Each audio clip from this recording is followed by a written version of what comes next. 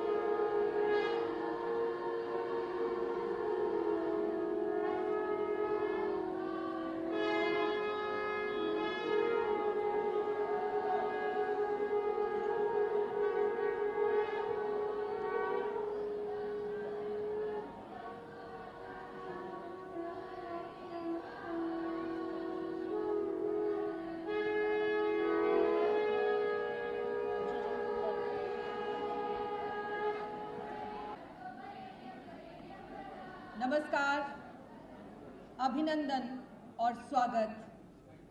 हमारे यशस्वी और लोकप्रिय प्रधानमंत्री नरेंद्र मोदी जी जी द्वारा लिखित पुस्तक, Narendra Damodar Das Modi the making of a legend इस पुस्तक के लोकार्पण समारोह में हम एक बार फिर से आपका हार्दिक स्वागत, अभिनंदन करते हैं।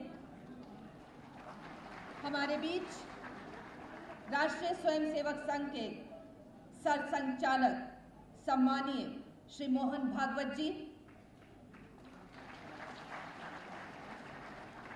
भाजपा के राष्ट्रीय अध्यक्ष माननीय अमित शाह जी और अध्यक्ष राष्ट्रीय पुस्तक न्यास माननीय बलदेव भाई शर्मा जी की उपस्थिति है। हम आप सभी महानुभावों का यहाँ हार्दिक स्वागत अभिनंदन करते हैं। और सबसे पहले हम आपके लिए लेकर आ रहे हैं यहाँ पर डॉक्टर बिंदेश्वर पाठक जी द्वारा रचित गीत, जो कि प्रधानमंत्री माननीय नरेंद्र मोदी जी को समर्पित है सन ऑफ़ इंडिया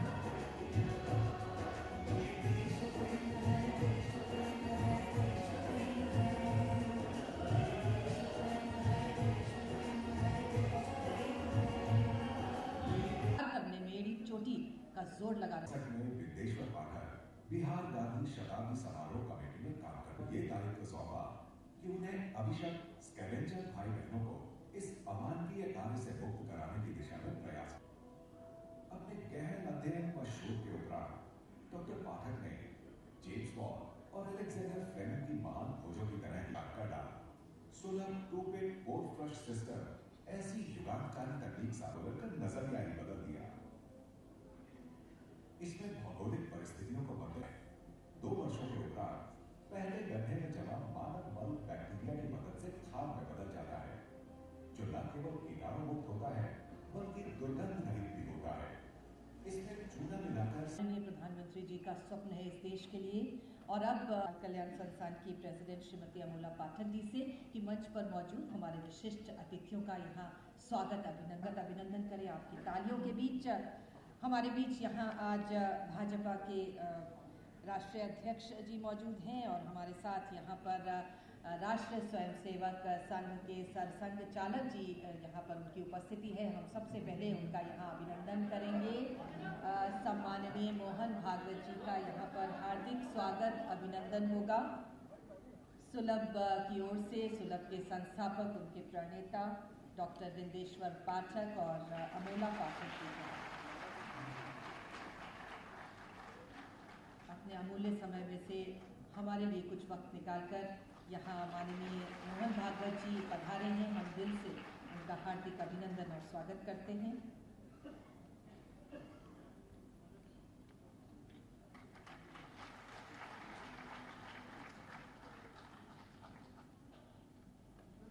ये प्रतीक चिन्ह भेंट किया जा रहा है मोमेंटो आज के इस विशेष अवसर के लिए।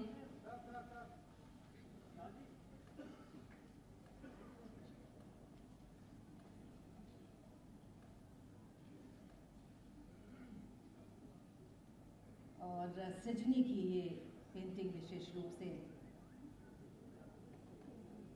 सम्माननीय मोहन भागवत जी के स्वागत करते हुए सुलभ की ओर से।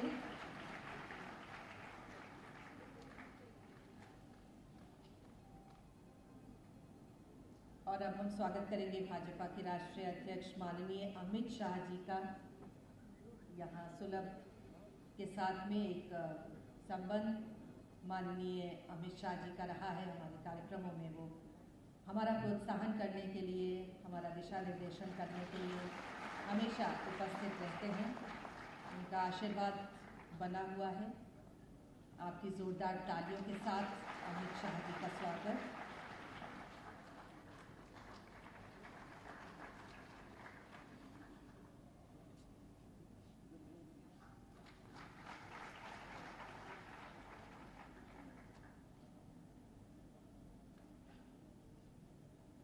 प्रतीक चिन्ह आज के इस अवसर के मौके पर।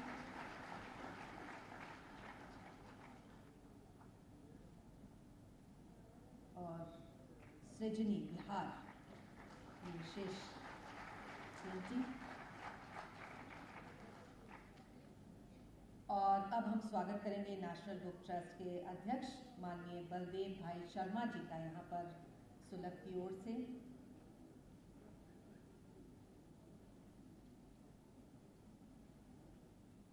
जाने माने विचारक लेखक और अध्यक्ष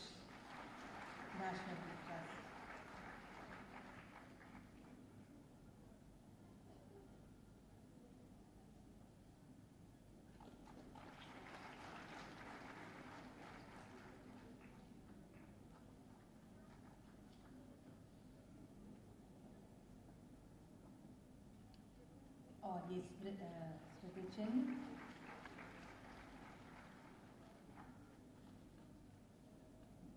और आज जिस पुस्तक के लोकार्पण के लिए हम सब यहाँ पर मौजूद हुए हैं, प्रधानमंत्री जी के लिए भी एक स्मृति चिन्ह यहाँ से विशेष रूप से ले जाया जाएगा पुस्तक के साथ उनको भेंट करने के लिए। वो स्मृति चिन्ह आप सभी से निवेदन है दीप प्रज्वलित करें।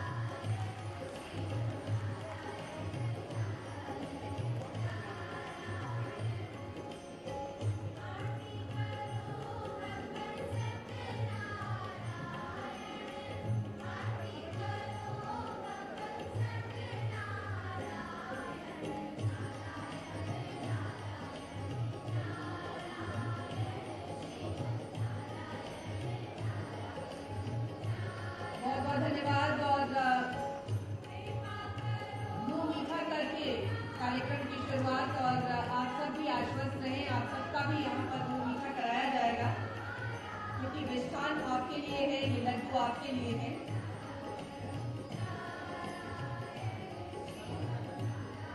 सभी मेहमान अपने स्थान ग्रहण करें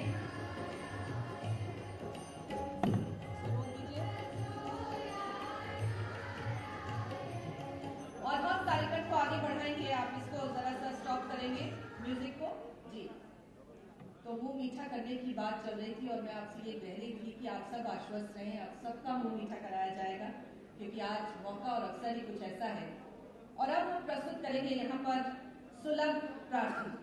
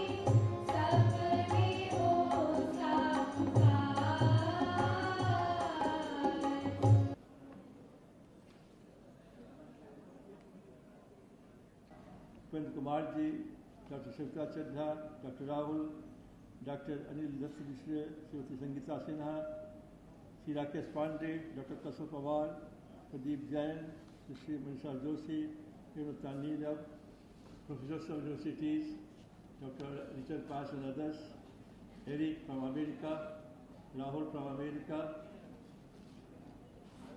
Anil Khetan ji सबका नाम नहीं ले पा रहे हैं, जिसकी छूट गया वो माफ़ कीजिएगा। उपस्थित सभी मीडिया के प्रतिनिधिगण इलेक्ट्रॉनिक मीडिया के प्रतिनिधिगण,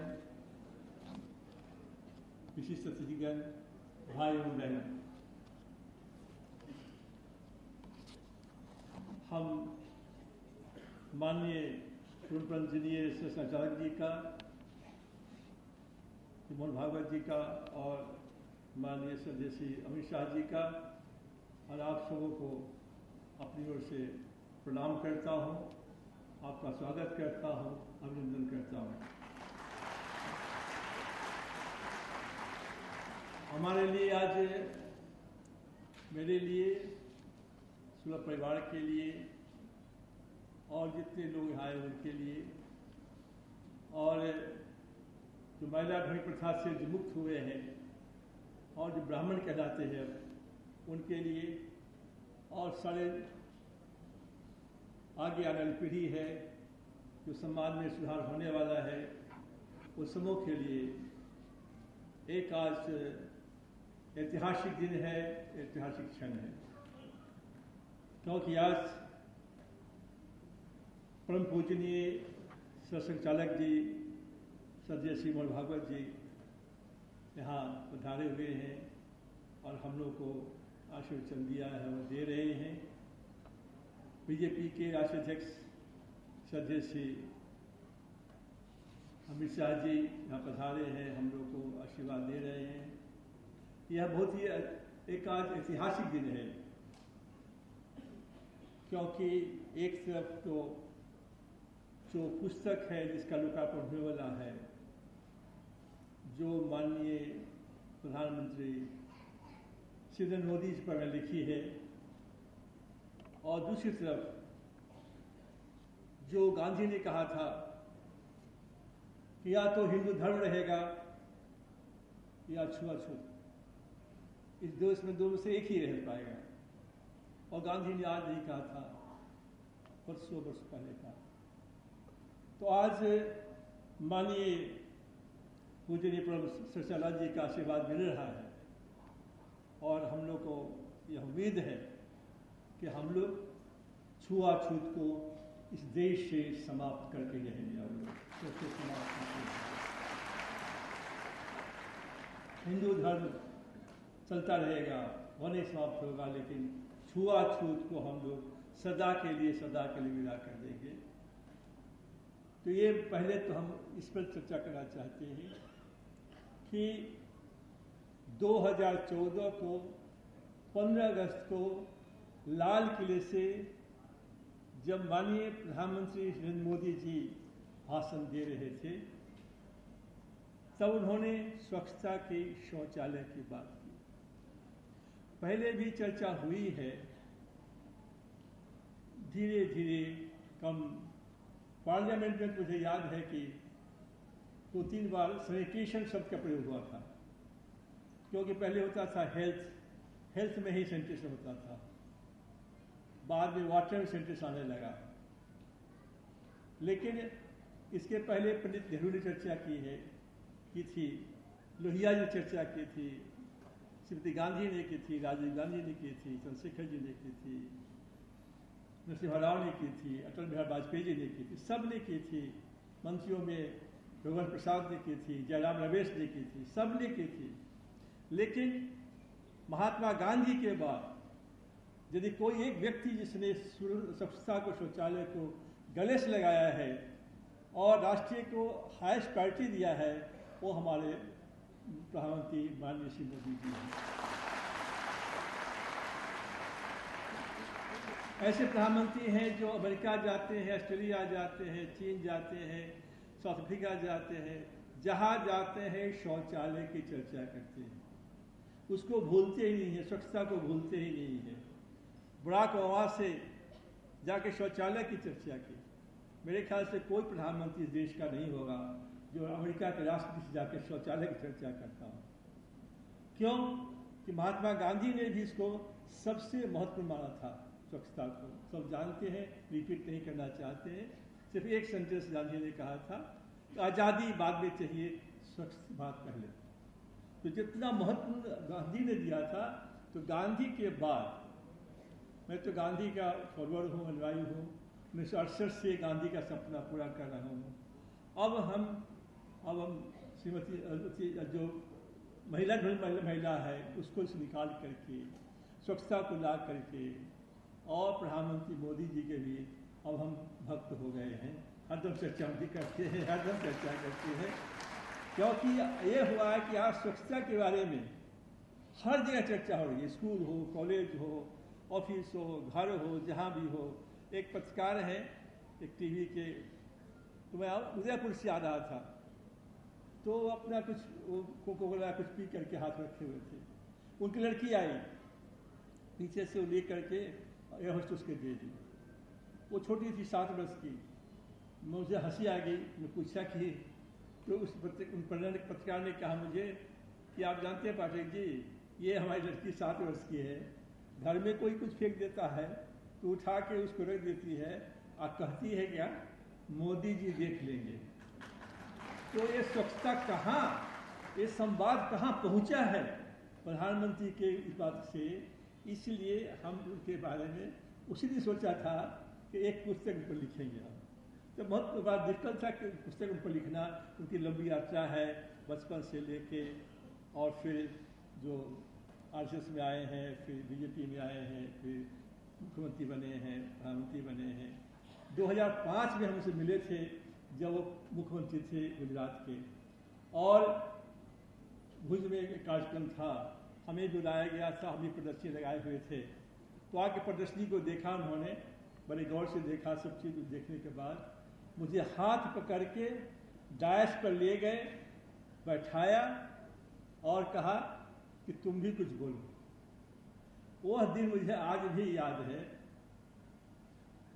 बनास के गंगा में सफ़ाई में अस्सी घाट की सफ़ाई जब हुई और जब हो रही थी, उसमें हम भी गए वहाँ पर तो हाथ पकड़ के फिर हमको ले गए कि क्या कर रहे हो, बताओ क्या हो रहा है।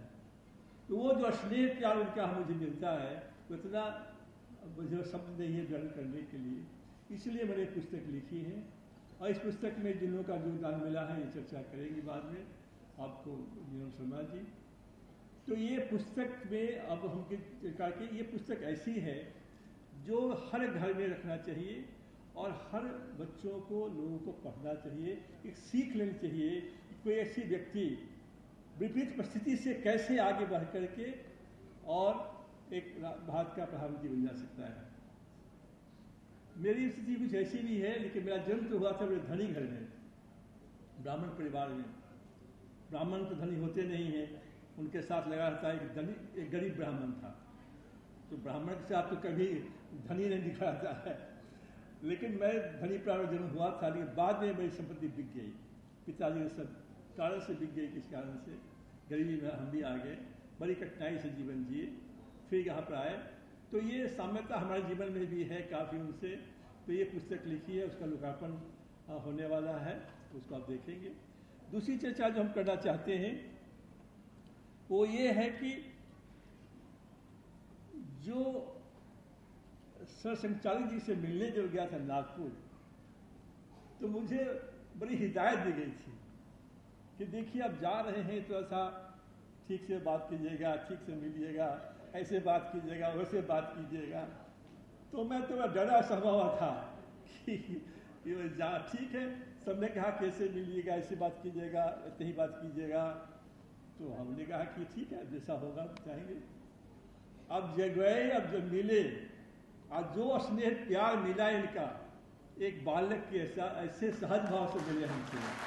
हम तो दंग रह गए कि भाई, इतने हमको प्रिकॉशन दिए गए थे हमको इतना स्नेह प्यार दिया, और जो शौचालय का खाद होता है, जो देखा हम लोगों उसने तो सब सब बातें से कर रहे थे तो खाद इनके हाथ में रख दिया हमने। वो खाद और जो बॉल देखा आपने, जो बॉल है, वो बॉल इनके हाथ में रख दिया, और बातें करने लगे। अब ये हाथ में रखे रह गए तो जब दस मिनट हो गया, हमने कहा, तब तो छोड़ ही रहे इसको। ये ठीक है सब दिखा, ये बॉल है यही, और ये ये है।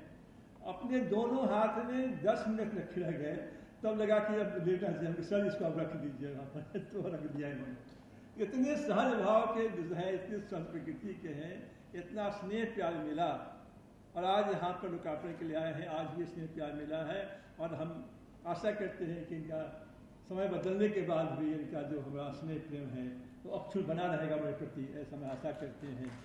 और इनके सानिध्य में ही इनके साथ मिल के भी हमसे भी जो होगा, समाज की सेवा करने का प्रयास करेंगे। एक उनका हार्दिक स्वागत और अभिनंदन करते हैं। माननीय राष्ट्रीय अध्यक्ष, श्री अमित शाह जी से मिलने गया तो उनसे भी बात हुई। थोड़ा सा उनके बारे में कहा गया था हमको, पहली बात। अब घर पर बुलाए और जो एक घंटा बात की हमसे जब हम लौट के आए तो हम तो भूल ही गए कि, इतने बड़े आदमी से मिल गए हैं। इतना प्रेम इतना स्नेह इतनी अच्छी बातें तो जब मैं लौट के आया तो हमने लिखा इसके बारे में कि आज मेरी मुलाकात एक महान व्यक्ति से हुई। महान आत्मा महान सोच महान विचार एवं महात्मा गांधी और पंडित दीनदयाल उपाध्याय के विचारों से प्रभावित और प्रेरित। दलितों को समाज में सर्वोच्च स्थान के पक्ष में समीर शाह जी की सोच में, जिस विषय पर मैं पाँच दशकों से कार्य कर रहा हूँ, पूर्ण सहमति।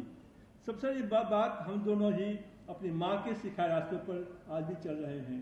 खादी के प्रति मेरे प्रेम एवं अटूट आस्था है, क्योंकि कपड़े के साथ साथ आज भी गरीबों का बड़ा अवलंबन है। तो ये आकर मैंने लिखा है इनके बारे में। इनसे अनुरोध किया था कि सर हमारे कैंपस में आप भी आने की कृपा कीजिए एक बार कैंपस में आए। कैंपस में आने के बाद तो देखा में सब बात हुई। जब ये बोल रहे थे, वो जो शब्द कहा, सो अभी भी हम नहीं बोल रहे हैं और लगता है कि इनका स्नेह, प्रेम मुझे भी मिलता रहेगा, ऐसा हम आशा से करते हैं। इन्होंने क्या कहा? जो कहा, सो इनके शब्द हमारे शब्द नहीं वाक्य नहीं है, इनके वाक्य हैं। आज यहाँ पर काफ़ी देरी हो रही थी। फिर भी एक तो पाठक जी इतनी विनम्रता से आग्रह करते हैं कि इनको कोई ना ही नहीं बोल सकता है। और दूसरा, जिन्होंने काम किया है, वह काम देखकर और हर चीज़ को इतनी बारीकी से समझकर छोटी छोटी चीज़ों का उपयोग विचार करके एक संपूर्ण चक्री व्यवस्था बनाई संपूर्ण चक्र। तो ये जो कहा कि कोई ना नहीं कर सकता है ये हमारे लिए बहुत ही इतना अच्छा लगा, इतना अच्छा लगा कि हम शब्द नहीं है अभी करने के लिए। उसके बाद उन्होंने कहा कि भारत सरकार ने, उनको भी पंद्रह अवार्ड दिया हुआ है, बहुत ही अवार्ड मिले हैं। लेकिन जो सबसे बड़ी बात उन्होंने कही कि मगर पाठक साहब, मैं अलग दुनिया का व्यक्ति हूँ। ये अवार्ड सारे कोई माने नहीं रखते। ये सारे अवार्ड एक हो और एक व्यक्ति जो सब पर बैलेट होता है।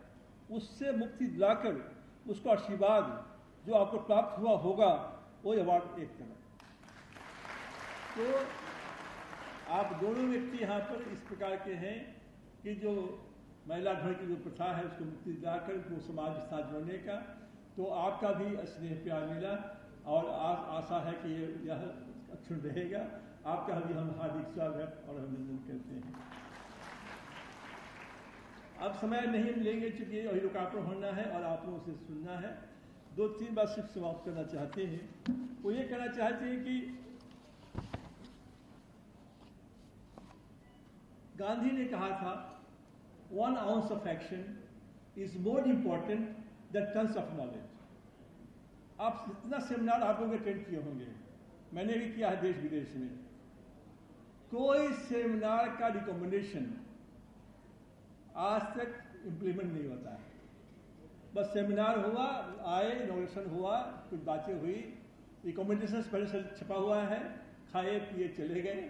उसके बाद कहाँ रिकमेंडेशन गया, कहाँ गया, कोई पूछने वाला नहीं है। तो महत्वपूर्ण बात है कि जो समाज में जो समस्या है, इसका समाधान जो है, वो बहुत महत्वपूर्ण है। जॉन ऑफ़ कैनेडी ने उन्नीस में पहली बार जो भाषण दिया था उसमें कहा था कि यह मत पूछो कि देश ने तुम्हारे क्या काम किया है। यह पूछो तुमने देश के लिए क्या काम किया तो ये बहुत महत्वपूर्ण बात है,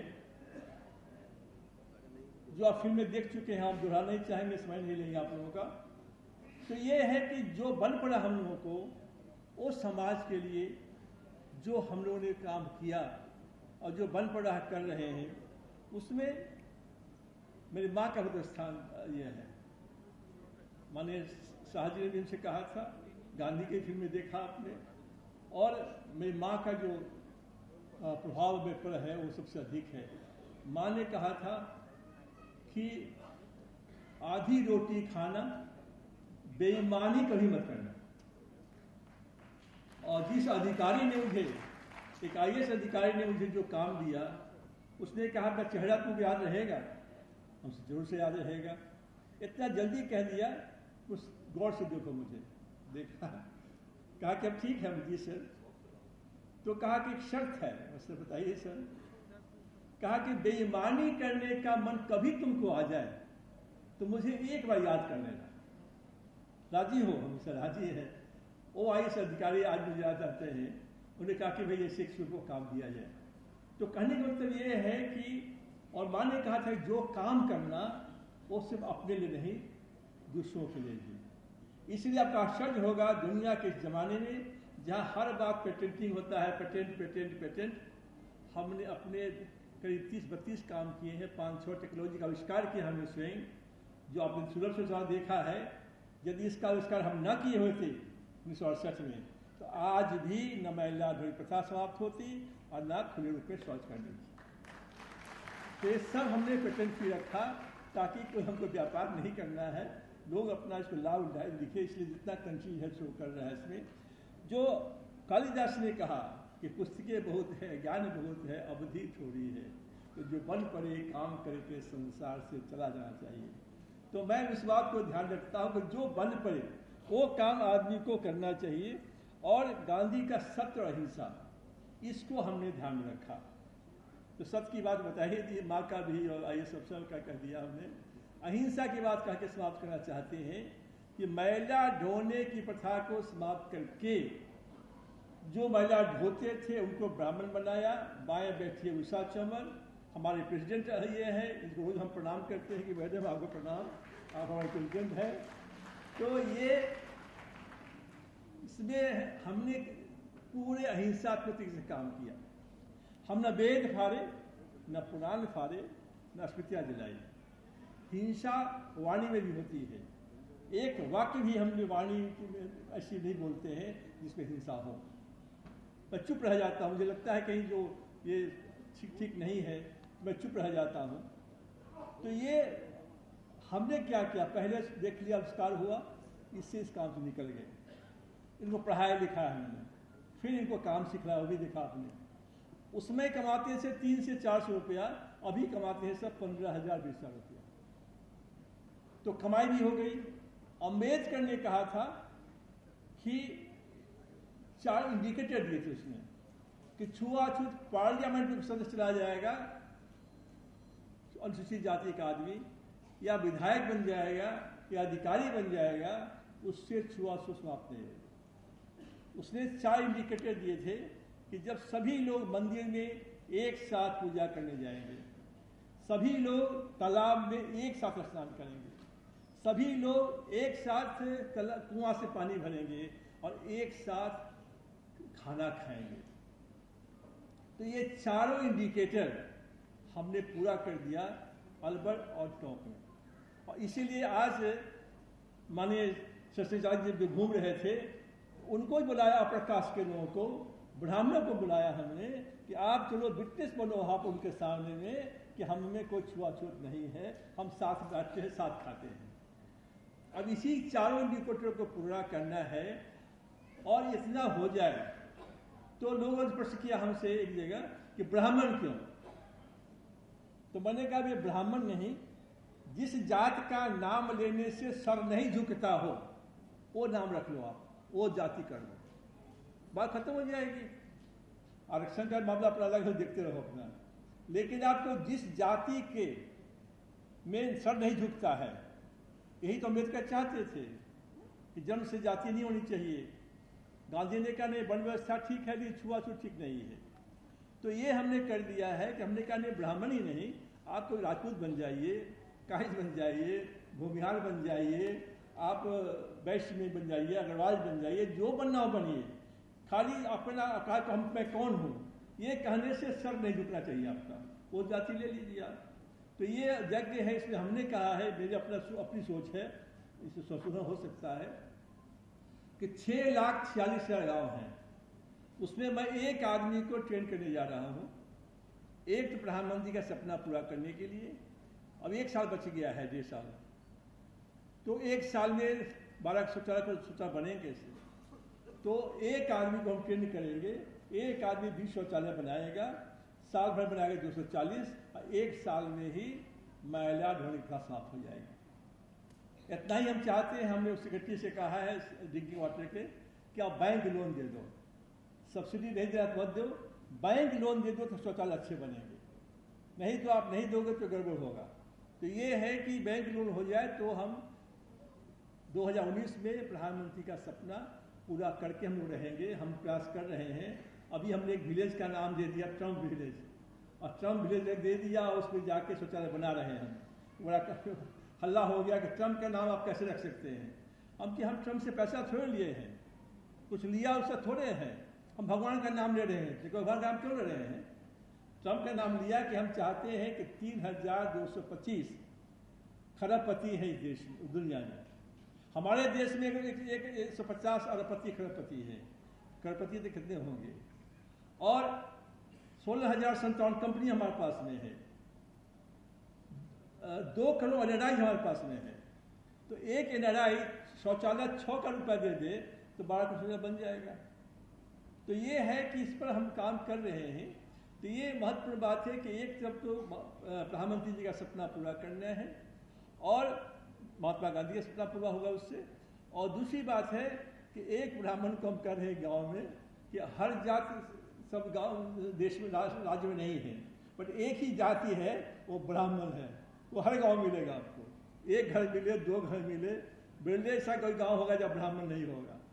तो हमने कहा कि तुम लोग ऐसा करो, आज़ादी लड़ाई हुई थी तो आज़ादी की जब लड़ाई हुई थी तो उसमें सबने कफन बाँध लिए थे, माथे पर।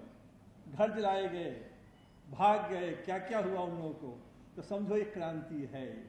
एक क्रांति है जिसमें तुमको कफन बाँध करके जो दलित भाई बहन हैं, उनके घर जाओ, पूजा कराओ, प्रसाद लो, खाना खाओ छुआछूत समाप्त।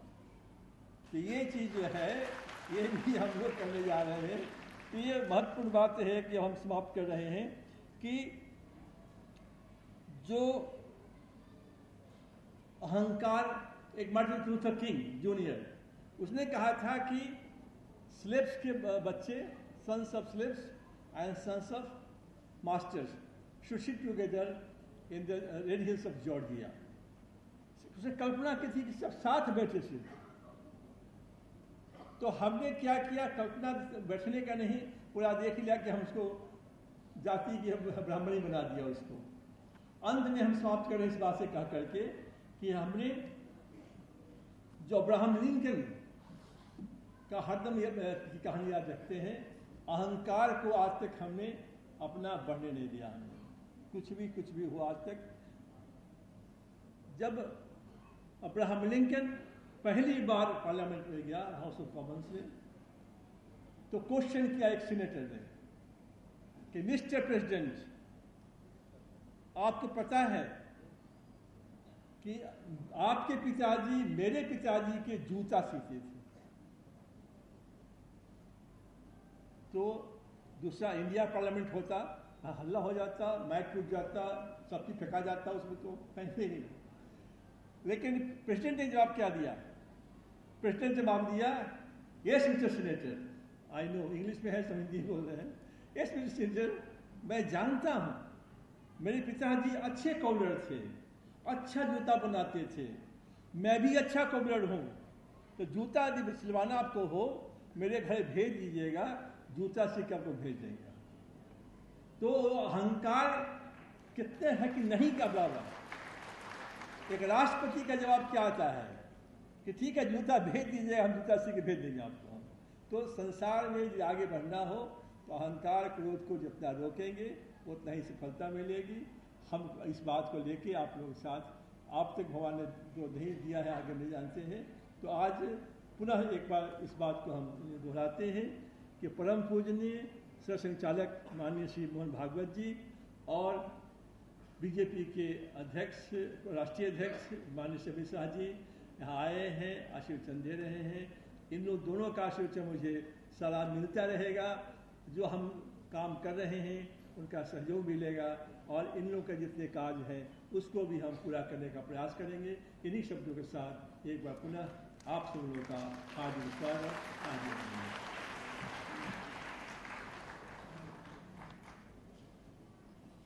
बहुत बहुत धन्यवाद। इस पुस्तक के लोकार्पण के लिए परम पूजनीय सर संचालक मोहन भागवत जी और भाजपा के राष्ट्रीय अध्यक्ष माननीय अमित शाह जी विधिवत इसका लोकार्पण करेंगे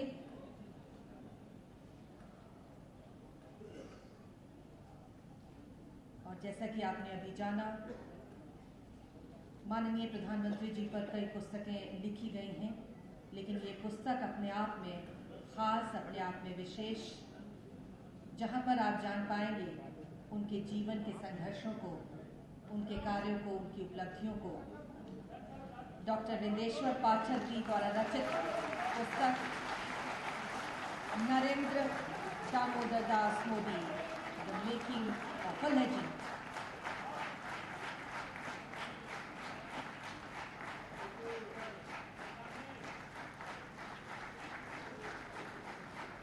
सजीव चित्रों के माध्यम से इस पुस्तक में प्रधानमंत्री जी की जीवनी का उल्लेख, डॉक्टर विंदेश्वर पाठक जी के द्वारा।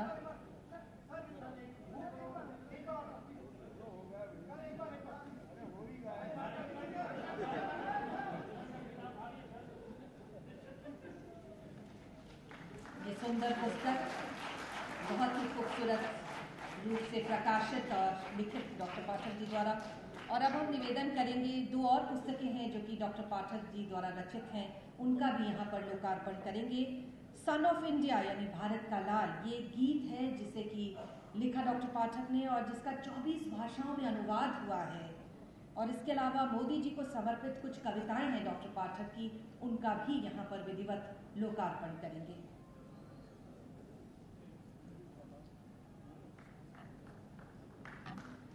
सन ऑफ़ इंडिया भारत का लाल ये गीत जिसका 24 भाषाओं में अनुवाद हुआ है।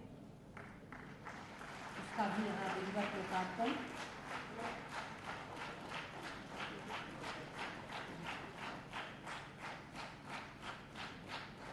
और एक अन्य पुस्तक, जिसे डॉक्टर पाठक ने लिखा द सुलभ टेंपल ऑफ़ ग्रैटिट्यूड ये उन महिलाओं की दास्तान के बारे में बताता है, जो सर पर मैला धोती थी। और किस प्रकार से इस अमानवीय जीवन से वो बाहर निकली, आज पूरे स्वाभिमान के साथ अपनी ज़िंदगी को जी रही हैं।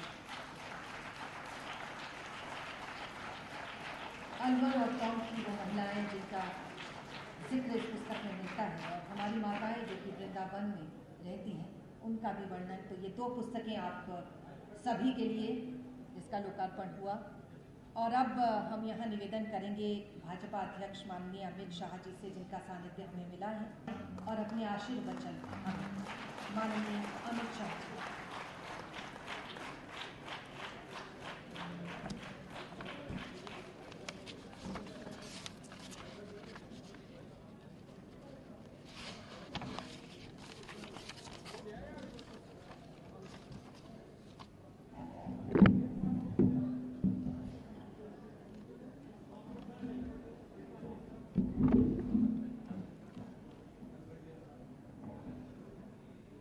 के इस गरिमामयी कार्यक्रम में उपस्थित, जिनके हाथों से अभी पुस्तक का लोकार्पण हुआ, परम पूजनीय सर संचालक जी मोहन राव भागवत जी। आज के कार्यक्रम के अध्यक्ष डॉक्टर बलदेव भाई शर्मा जी, सुलभ के नाम से, पाँच दशकों से, स्वच्छता का आंदोलन को ही जिन्होंने अपना जीवन बनाया है, ऐसे डॉक्टर बिंदेश्वर पाठक जी, श्रीमती अमोला पाठक जी, श्रीमती आभा कुमार जी, श्रीमती उषा चौमल जी, सभी गणमान्य उपस्थिति दर्ज कराने वाले भाइयों और बहनों और सुलभ के साथ जुड़े हुए सभी भाइयों और बहनों। आज इस कार्यक्रम में पाठक जी ने एक पुस्तक लिखी है, इसका लोकार्पण किया गया है।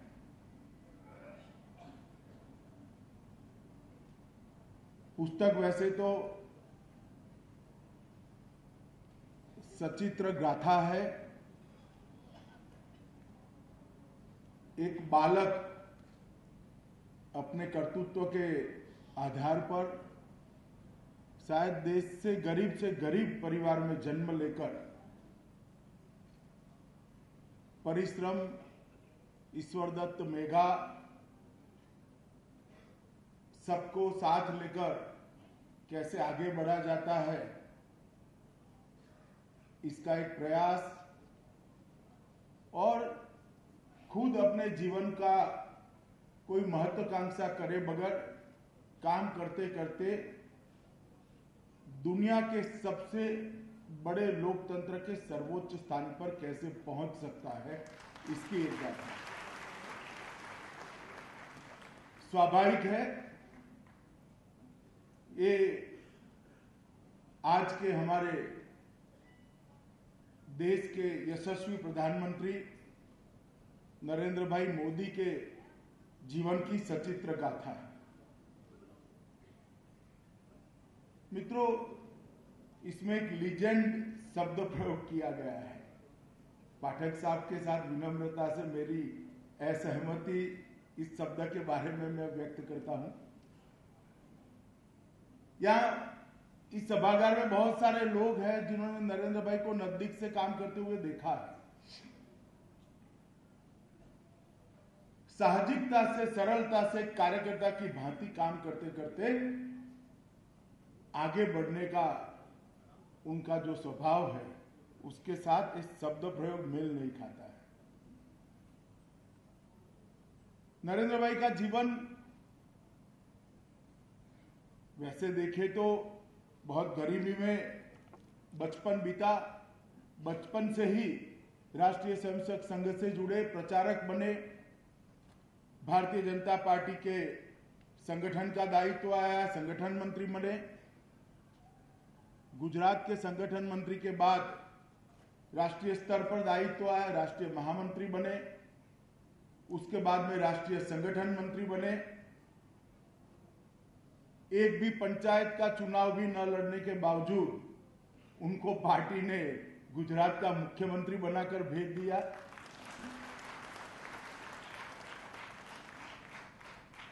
अब तक की जो मैं यात्रा कहता हूँ, वो हम हम जैसे स्वयंसेवक और कार्यकर्ताओं के लिए है मगर उसके बाद गुजरात के मुख्यमंत्री बनने के बाद नरेंद्र भाई ने जो काम किया, वो काम के बहुत सारे चर्चे देश भर में हुए हैं। मगर मैं इसके एक अलग पहलू की ओर आप सबका ध्यान दिलाना चाहता हूँ। नरेंद्र भाई जब गुजरात के मुख्यमंत्री बने, उसके आठ दस साल के अंदर इस देश में एक अजीब प्रकार का माहौल सर्जित हुआ था। देश भर के कई लोगों को, कई शुभ चिंतकों को, कई सोचने वाले लोगों को लगता था कि हमारी जो बहुपक्षीय लोकतांत्रिक संसदीय व्यवस्था है, वो फेल कर जाएगी क्या?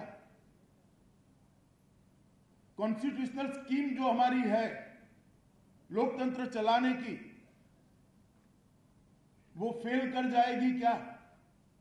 देश किस दिशा में जा रहा है? अगर इसी प्रकार का अस्थिरता का माहौल लंबे समय तक देश के अंदर चलता है तो देश की दिशा ना निश्चित हो सकती है, ना देश की समस्याओं का निवारण हो सकता है। और उसी वक्त नरेंद्र भाई ने गुजरात के मुख्यमंत्री के नाते गुजरात की बहुत बड़ी समस्याओं का मतलब दस को पुरानी समस्याओं का साहजिकता से निवारण किया। मैं गुजरात से ही आता हूँ, उनके साथ मंत्रिमंडल में भी रहा। गुजरात की सबसे बड़ी समस्या थी गिरता हुआ जल स्तर,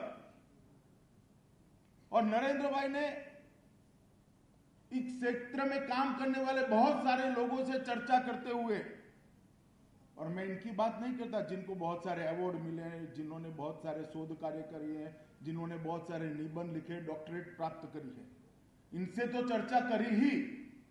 मगर ग्रामीण स्तर पर छोटे छोटे प्रयोग जिन्होंने किए थे और सफल प्रयोग किए थे, उन सबसे चर्चा कर कर एक ऐसा जल संचय का आंदोलन खड़ा कर दिया मुझे ठीक याद है मित्रों, एक ही साल में एक लाख साठ हज़ार से ज़्यादा चेक डैम बनाकर नरेंद्र भाई ने गुजरात के जल, गिरते हुए जल स्तर की दिशा को अलग, दिशा दी।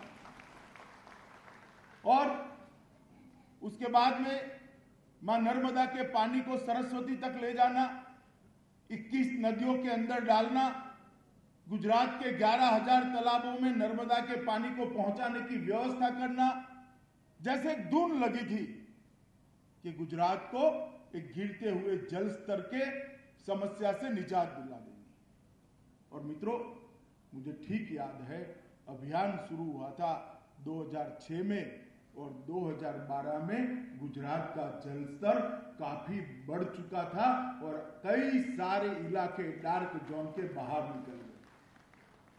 मैं जिस क्षेत्र से गुजरात के आता हूँ, वो उत्तर गुजरात में सारे के सारे ज़िले लगभग लगभग डार्क जोन के थे, अंदर थे। आज गुजरात डार्क जोन मुक्त हो गया है और ये जल संचय के सफल प्रयोग का इसी तरह से उसी वक्त उन्होंने प्रयोग किया था स्वरोजगारी पर बल देने का। सवा सौ करोड़ के देश की जनसंख्या जिस देश की हो, वो नौकरियों के माध्यम से रोजगारी का समाधान नहीं ला सकता। नरेंद्र भाई ने गुजरात के अंदर ही प्रयोग किया था स्वरोजगारी का और कौशल विकास का। प्रधानमंत्री बनने के बाद उन्होंने इस प्रयोग को राष्ट्रीय फलक पर लेकर आए।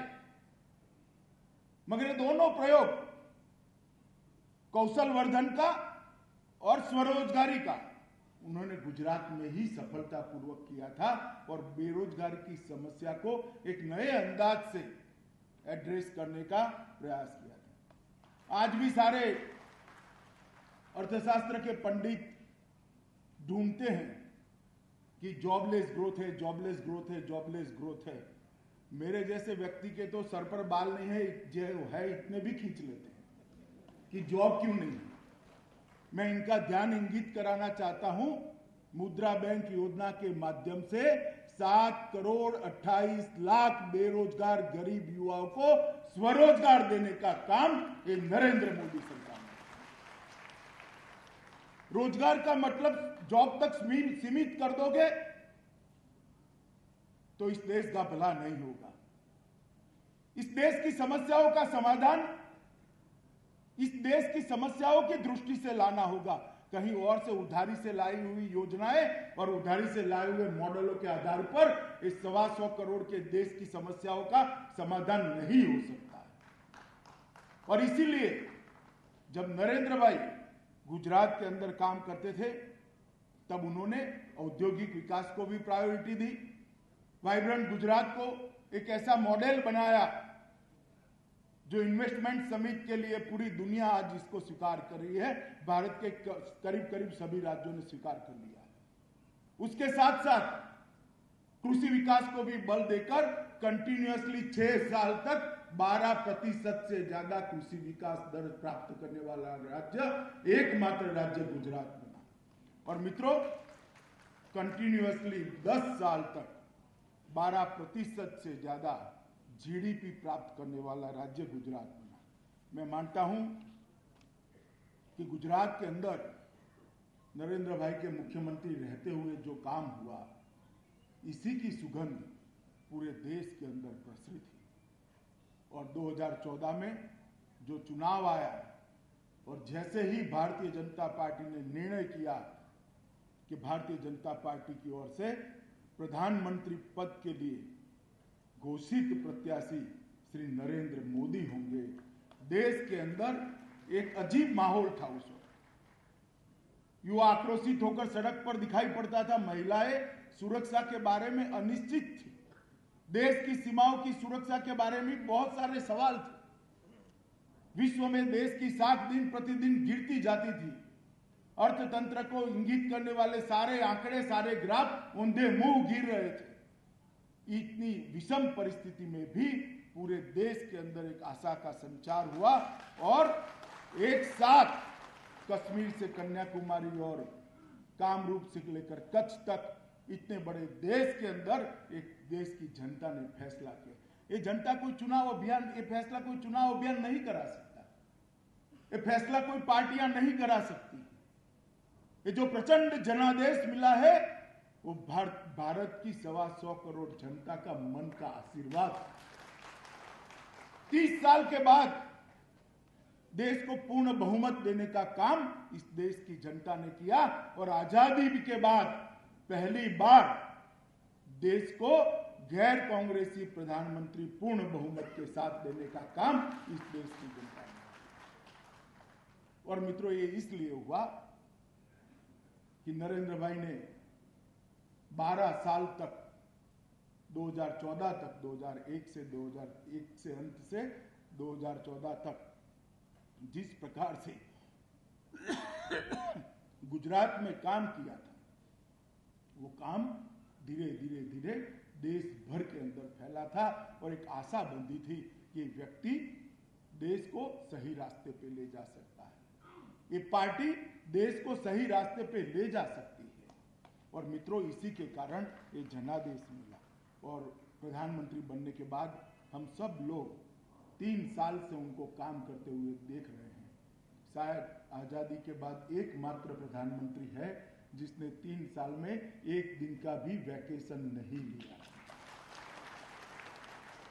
ईश्वर जो मौका देता है, ईश्वर जो काम करने का मौका देता है उसको अपना सर्वस्व देकर ज़्यादा से ज़्यादा दिशा में आगे बढ़ाना, ईश्वर के आशीर्वाद को लोगों के लिए पहुंचाना, ये बहुत बड़ी काम मित्रों, नरेंद्र मोदी सरकार, भारतीय जनता पार्टी की सरकार ने जिस साल, जिस प्रकार से तीन साल तक काम किया है, बहुत सारा कहा जा सकता है, मेरे पास ज़्यादा समय नहीं है और मैं कहना भी नहीं चाहता।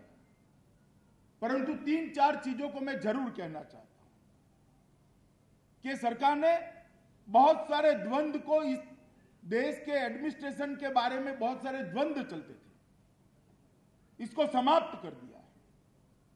पहले तो हो, सरकार बनते ही पूछा जाता था, ये सरकार कृषि का विकास करेगी या उद्योग का विकास करेगी? क्या करेगी? नरेंद्र मोदी सरकार ने, भारतीय जनता पार्टी की सरकार ने तय कर दिया, कृषि के विकास के साथ साथ उद्योग का भी विकास हो सकता है। दोनों में कोई अंतर विरोध नहीं। इसी तरह से एक दूसरा सवाल पूछते थे। ये सरकार गाँव के विकास को, गाँव के विकास को प्राधान्य देगी या शहर के विकास को प्राधान्य देगी? नरेंद्र मोदी सरकार ने यह भी सिद्ध कर दिया कि गाँव के और शहर के विकास के बीच में कोई अंतर द्वंद नहीं है, दोनों समांतर रूप से हो सकते हैं। और तीसरा, एक सवाल हमेशा पूछा जाता था कि सरकार इकोनॉमिक के क्षेत्र में रिफॉर्म्स करेगी या जन कल्याण के रास्ते पर चलेगी। सब मतलब वेलफेयर सोसाइटी बनाने के रास्ते पर चलेगी। मित्रों, नरेंद्र मोदी सरकार ने यह भी कर दिया कि रिफॉर्म्स भी हो सकते हैं और गरीब के जीवन के स्तर को ऊपर भी उठाया जा ये दोनों काम, एक साथ करने का काम ये भारतीय जनता पार्टी की नरेंद्र मोदी सरकार ने किया मित्रों, जब भारतीय जनता पार्टी की सरकार बनी तब दुनिया भर के पंडित ये सोचते थे कि भारत की विदेश नीति क्या होगी? करवट लेगी क्या? मित्रों, हमने विदेश नीति के मामले में भी नरेंद्र मोदी सरकार ने एक अनूठा प्रयोग किया है। हम दुनिया भर के लोगों के साथ, दुनिया भर के देशों के साथ अच्छे संबंध चाहते हैं। दुनिया भर के साथ वसुदेव कुटुंबम कम की भावना के साथ आगे बढ़ना चाहते हैं। मगर इसके साथ साथ अपनी सीमाओं की सुरक्षा और अपने सार्वभौमत्व को भी अक्षुण रखना चाहते हैं और ये दोनों काम हमने एक साथ करके दिखाया मित्रों, नरेंद्र मोदी सरकार जब तीन साल समाप्त किए, तब मेरा अभी देश भर में दौरा चल रहा है। बहुत सारे पत्रकार मुझे पूछते हैं, क्या बहुत बड़ी उपलब्धि क्या मानते हो सरकार की? मैंने कई बार कहा है मित्रों, कि ये सरकार ने अंतिम विकास की पंक्ति पर अंतिम खड़े हुए व्यक्ति को उसका जीवन स्तर को बढ़ावा देने का मौका दिया है। पंडित दीनदयाल उपाध्याय जी के अंत्योदय के मार्ग पर अंतिम व्यक्ति को कैसे उठाया जाए? और जब मैं उपलब्धियों में कहता हूँ कि सरकार ने चार करोड़ अड़तीस लाख शौचालय बनाए हैं तब काफ़ी लोगों को दिल्ली में जो लुटियन में रहते हैं, उनको लगता है कि अमित भाई क्या शौचालय की बात कर रहे हो? इसमें क्या बड़ी उपलब्धि है? मगर मैं हॉल में जो बैठे हैं, इन सबको भी कहना चाहता हूँ, मित्रों, आपने पूर्वी उत्तर प्रदेश, बिहार उड़ीसा के दूर दराज के गाँव में गरीबी नहीं देखी एक 16 साल की बच्ची सुबह शौच क्रिया के लिए गाँव के बीच में से चलकर खुले में जब उसको बैठना पड़ता है, तब उसके आत्मा पर, उसके मन पर, उसके आत्मविश्वास पर जो ग्लानी आती है, इसका अनुभव हमें नहीं है। इस 16 साल की बच्ची को अभी देश का नागरिक बनना बाकी है, देश के विकास में अपना योगदान देना बाकी है, अपने स्वप्न देखना बाकी है इस ग्लानी से उसका आत्मविश्वास चूर चूर हो जाता है। और जब मैं कहता हूँ कि नरेंद्र मोदी सरकार ने भारतीय जनता पार्टी की सरकार ने चार करोड़ अड़तीस लाख शौचालय बनाए हैं। तब नरेंद्र मोदी सरकार ने, भारतीय जनता पार्टी की सरकार ने और प्रधानमंत्री के दिशा निर्देश ने करोड़ों महिलाओं को और करोड़ों बच्चियों को सम्मान के साथ जीने का एक रास्ता बता दिया। उनको मौका दिया है। देश के लिए कंट्रीब्यूट करने का उनको मौका दिया है अपने जीवन के बारे में स्वप्न देख पाने का। और ये सोच तभी आ सकती है जब व्यक्ति गरीबी से उभरा हुआ हो, गरीबी को देखा हुआ हो और संघर्ष जीवन में किया हुआ हो। इस देश में साढ़े बारह करोड़ गैस बट गए थे। साढ़े बारह करोड़ गैस गैस के एलपीजी सिलेंडर में से 11 करोड़ 80 लाख गैस शहरी एरिया में बटे थे। गाँव की गरीब महिला के नसीब में गैस का सिलेंडर नहीं था। हमें लगता है गैस के सिलेंडर में क्या है?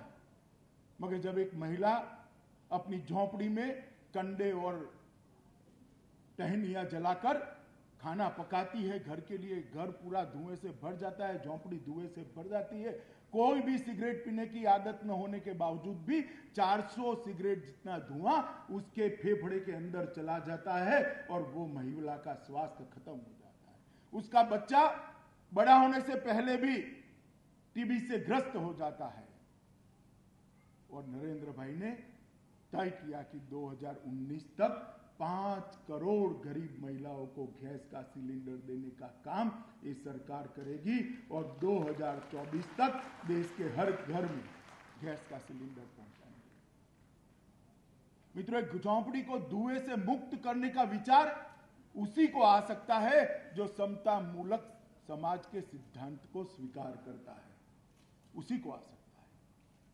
और मित्रों, कई सारे ऐसे काम जो तीन साल के अंदर हुए, लगभग तेरह हज़ार गाँवों में बिजली पहुँची। अगले साल मई तक ये देश में एक भी गाँव ऐसा नहीं होगा जहाँ बिजली नहीं होगी। एक भी गाँव ऐसा नहीं होगा जो रोड से जुड़ा हुआ नहीं होगा। एक भी घर ऐसा नहीं होगा जहाँ शौचालय नहीं होगा। 2024 तक एक भी घर ऐसा नहीं होगा जहाँ एलपीजी का सिलेंडर नहीं होगा।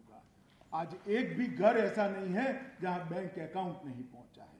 और ये सारा सत्तर साल की आज़ादी के बाद करना पड़ता है। विकास की बात करने वाले, गरीब की बात करने वाले, कई सरकारें, कई व्यक्ति प्रधानमंत्री बने और चले गए, कई पार्टियाँ आई और चली गई, ये सब हमारे भाग्य में इसलिए आया है कि आगे किसी ने किया नहीं। अगर कर देते सत्तर साल में तो आज देश बहुत आगे बढ़ता मगर खैर, मित्रों, मैं इतना जानता हूँ कि इस देश के आर्थिक विकास के मामले में बहुत सारा काम होने के बावजूद आज देश दुनिया का सबसे तेज़ी से बढ़ता हुआ अर्थतंत्र बना है। सारे फाइनेंशियल डिसिप्लिन के आंकड़े अपने पैरामीटर्स के अंदर हैं।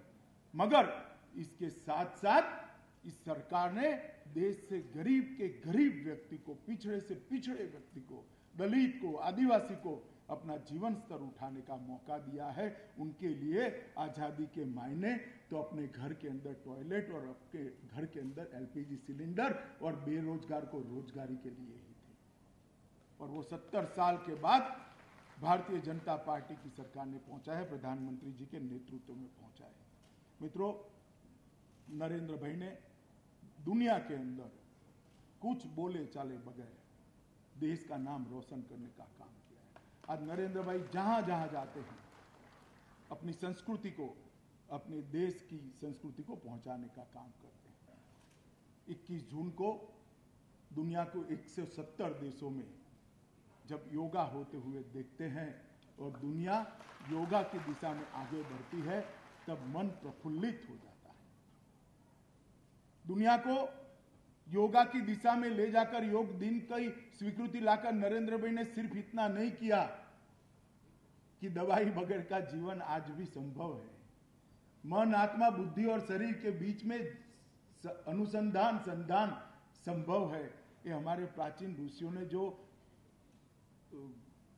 संशोधन किया है, वो दुनिया के सामने उपलब्ध किया। नरेंद्र भाई ने साथ में ये भी कहा कि इसकी कोई पेटेंट राइट हम आपसे नहीं मांग रहे हैं, ये हिंदुस्तान की संस्कृति है। और मित्रों, आज दुनिया में हिंदुस्तान को अलग दृष्टिकोण से देखा जा रहा है। दुनिया की बहुत सारी समस्याएँ, चाहे वो जलवायु परिवर्तन की हो या बढ़ते हुए तापमान की, नरेंद्र भाई की ओर दुनिया देख रही है कि इसका समाधान क्या है।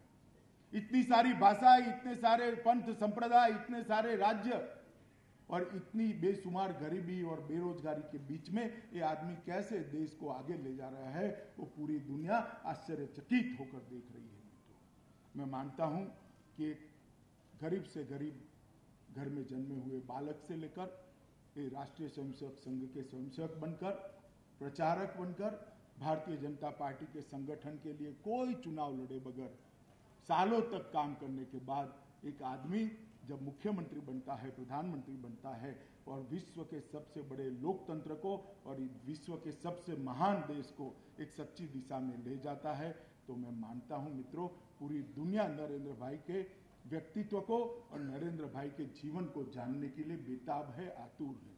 उसी समय पाठक जी ने ये पुस्तक प्रकाशित करने का जो निर्णय किया है, लिखने का जो निर्णय किया है, ये सर्वथा बहुत उचित है और पाठक जी को जितना साधुवाद दे, उतना कम क्योंकि पाठक जी, देश तो जानता है नरेंद्र भाई को, मगर आपके माध्यम से सुलभ को और शौचालय को लेके आप जहाँ जहाँ विश्व में जाएँगे, वहाँ पर ये पुस्तक भी साथ में ले जाना तो विश्व को भी नरेंद्र भाई को जानने में सरलता होगी। आज परम पूज्य सरसंचालक जी के हाथ से इसका उद्घाटन हुआ है। मैं पाठक जी और उनकी टीम को हृदय से बहुत बहुत शुभकामनाएँ देता हूँ और भारतीय जनता पार्टी की ओर से धन्यवाद भी देता हूँ। बहुत बहुत धन्यवाद।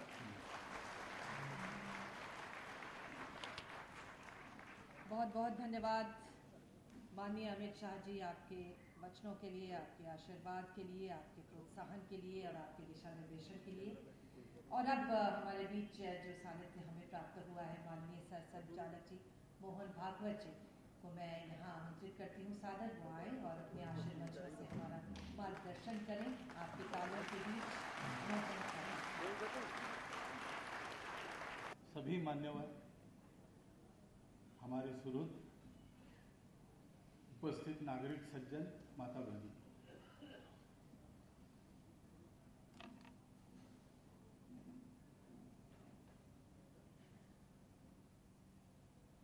कर्तृत्व संपन्न लोगों के चरित्र लिखे जाते हैं।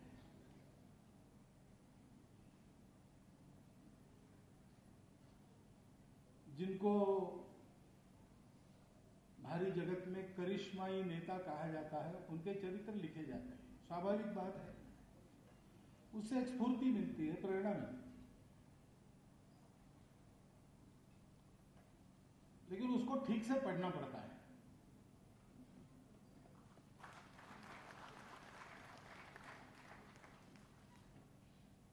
क्योंकि जैसे अमित भाई ने कहा कि गुजरात के मुख्यमंत्री बनने तक की जीवन यात्रा नरेंद्र भाई की हम स्वयंसेवक और कार्यकर्ताओं के लिए है।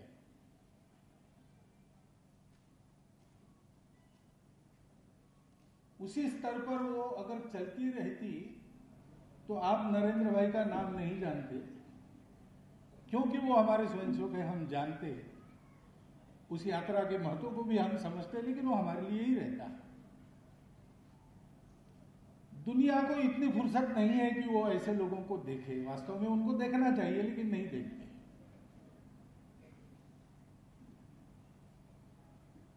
गुजरात के मुख्यमंत्री और बाद में भारत के प्रधानमंत्री, ये यात्रा सारी दुनिया में गूंज रही है। और बहुत लोग उसको जानना चाह रहे हैं। वो यात्रा ऐसी है, जानने लायक है। परंतु थोड़ा विचार करके देखेंगे तो हम ये समझेंगे, गुजरात की मुख्यमंत्री बनने तक की उनकी जो अप्रसिद्ध यात्रा है, उसी के कारण गुजरात के मुख्यमंत्री और बाद में प्रधानमंत्री की उनकी यात्रा इतनी उज्जवल हो रही है।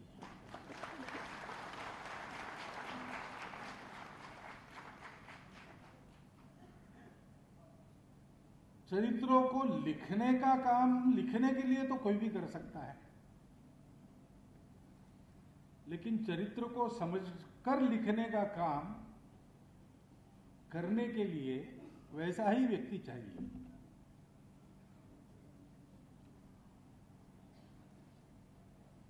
मेरी जानकारी में नरेंद्र भाई का ये कोई पहला जीवन यात्रा का वृत्तांत नहीं लिखा जा रहा, इसके पहले भी आए हैं, छोटे मोटे।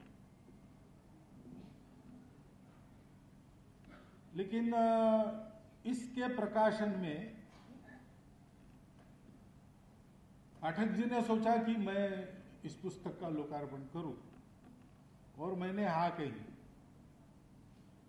सामान्यतः मैं नहीं जाता हूँ, इसमें मैंने हाँ की।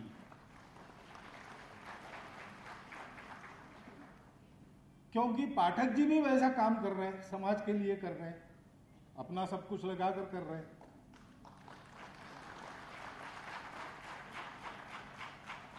और वो भी अब प्रसिद्ध हो रहा है। तो प्रसिद्धि के प्रकाश में रहकर भी अपने व्रत को निभाते हुए चलना जैसा नरेंद्र भाई कर रहे हैं। नरेंद्र भाई एक व्यक्ति के नाते, एक स्वयंसेवक के नाते, एक कार्यकर्ता के नाते, गुजरात के मुख्यमंत्री बनने के पहले जैसे थे, वैसे आज भी है। सारी दुनिया में नाम हो रहा है। लगातार प्रसिद्धि हो रही वगैरह, इसका परिणाम उनके व्यक्तित्व पर, कर्तृत्व पर, नेतृत्व पर नहीं है। ऐसा पाठक जी का भी है तो उनकी इस यात्रा को वो समझ सकते हैं। और समझने वाला व्यक्ति जब लिखता है, लोग पढ़े, इसलिए ये सब बातें लिखनी पड़ती है, लेकिन उसके साथ और भी कुछ लिखा होता है। कदाचित लिखा नहीं होता है, लेकिन बिटवीन द लाइंस हमको पढ़ना पड़ता है। आज हम इस चरित्र को, उस दृष्टिकोण से पढ़े, इसकी आवश्यकता है। नरेंद्र भाई के लिए नहीं, हमारे लिए है। क्योंकि हज़ार पंद्रह सौ वर्षों से नीचे जाते जाते अपना देश जहाँ पहुँचा, वहाँ से उसको हज़ार, दो हज़ार वर्षों के पहले वो जो था, उससे भी ऊँचा बनाना है।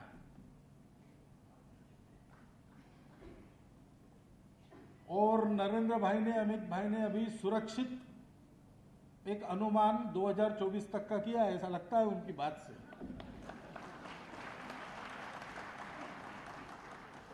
लेकिन ये काम तो और करना पड़ेगा। बहुत सी बातें हैं। सब बातें सरकार नहीं कर सकती, समाज के एक एक व्यक्ति को वैसा तैयार होना पड़ेगा। अस्पृश्यता विरोधी कानून तो बहुत पहले बन गया। लेकिन वास्तव में मन से उस अस्पृश्यता को निकालकर समाज का प्रत्येक व्यक्ति व्यवहार करे, इसके लिए कैसे प्रयास करने पड़ते हैं? पाठक जी ने किए हैं, वो सरकारी प्रयास नहीं हो सकते, वो हमको करने पड़ते हमको अपने जीवन के परिवर्तन से प्रारंभ करना पड़ेगा इस दृष्टि से हम इसको देखें। व्यक्तित्व, कर्तृत्व और नेतृत्व के गुणों के कारण आज हमारा ध्यान नरेंद्र भाई की ओर है। और वो ध्यान देने लायक गुण है ही, यानी उसके लिए मुझे और वर्णन करने की आवश्यकता नहीं। अमित भाई ने थोड़ा बहुत वर्णन किया है और आप सब लोग देख रहे हो। आपकी परख में से ही उसको यह मान्यता मिली है, उस व्यक्तित्व को, उस कर्तृत्व को, उस नेतृत्व को। लेकिन हमको थोड़ा और अंदर जाके इस चरित्र को पढ़ना पड़ेगा, नरेंद्र भाई को देखना पड़ेगा। जैसे व्यक्तित्व की बात करते हैं तो एक तो दिखने वाला होता है, और एक प्रत्यक्ष होने वाला होता है। दिखने वाला दिखता है होने वाला देखना पड़ता है, आँख खोलकर जानना पड़ता है। और दिखने वाला और होने वाला इसमें जितनी एक रूपता है, उतना आदमी अधिक व्यक्तित्व संपन्न होता है। क्योंकि ऊपरी बातें जो है, क्षमताएँ, कुशलताएँ, बोलचाल चलन के तरीके मैनर्स एबिलिटीज एंड स्किल्स ये तो सीखने की बात है, सब लोग सीख सकते हैं। लेकिन वास्तव में उसकी चमक जो आती है, वो अंदर की संपदा के कारण आती है, बाहर दिखने वाली संपदा के कारण नहीं आती। वृंदावन के एक संत मिले थे। उन्होंने मुझे पहले कहा था कि भारत के नेतृत्व में जब धर्म आएगा, तब देश का कल्याण होगा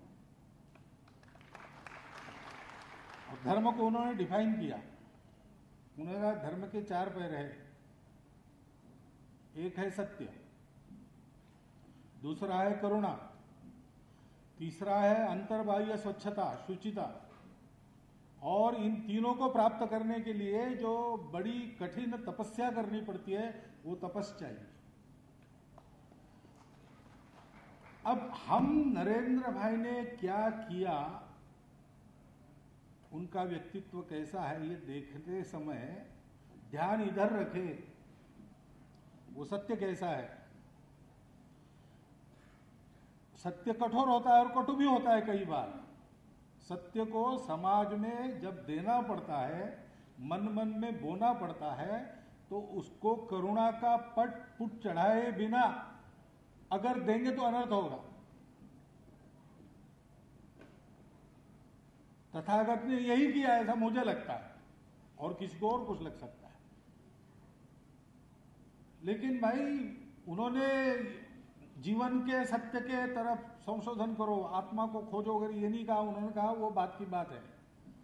अभी काहे तो उस झंझट में पड़ते हो, तुम्हारा जीवन दुखी है, उसको सुखी करो पहले। उसको सुखी करने के लिए तुम योग्य बनो। आत्मा है नहीं, ईश्वर है नहीं, इस फंद में तुम्हारा लेना देना क्या है भाई? तुम तो त्रस्त हो, भेदभाव तुम्हारे साथ हो रहा है इसलिए। तुम तो त्रस्त हो तुम्हारे गरीबी के लिए।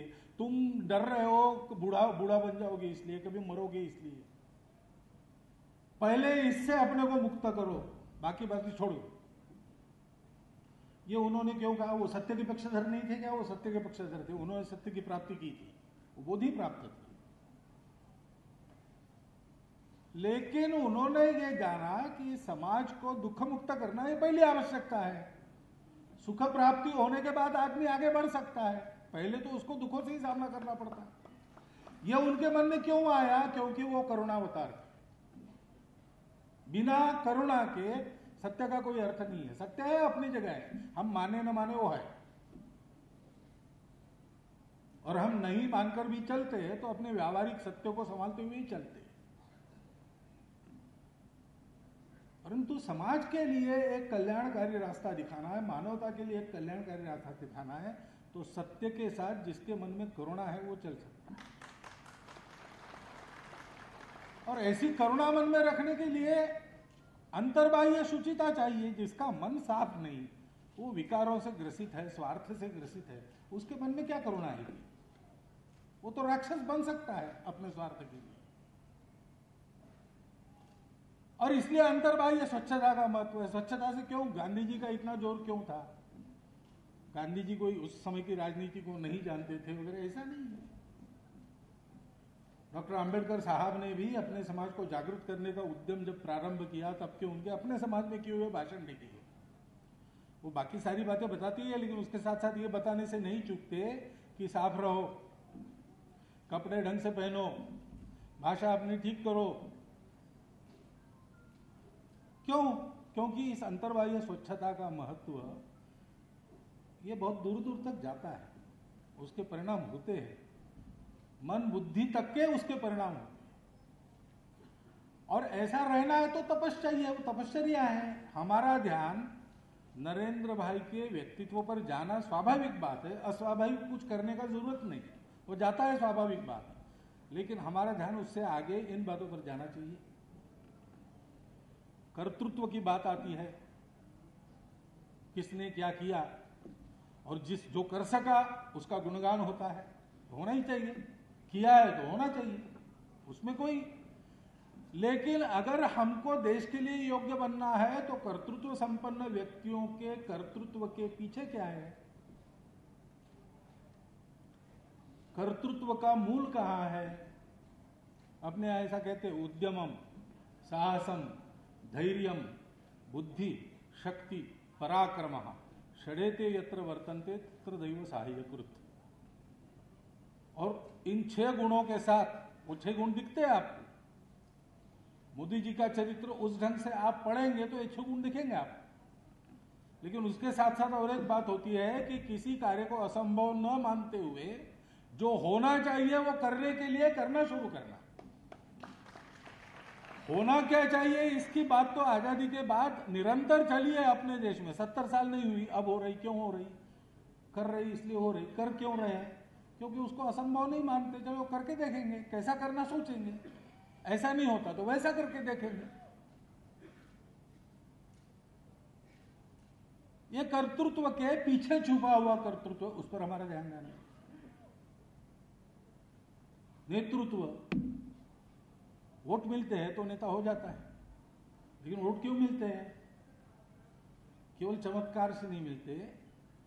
वोट प्राप्त करने के लिए प्रयास करने वाले तो साथ ही रहते हो साथ काम किए हुए तो वो देखते हैं व्यक्ति को। उनको ये अनुभव आता है कि ये आदमी कैसा है, पात्र त्यागी, योग्य व्यक्ति के लिए छोड़ने वाला, देने वाला, गुणे रागी,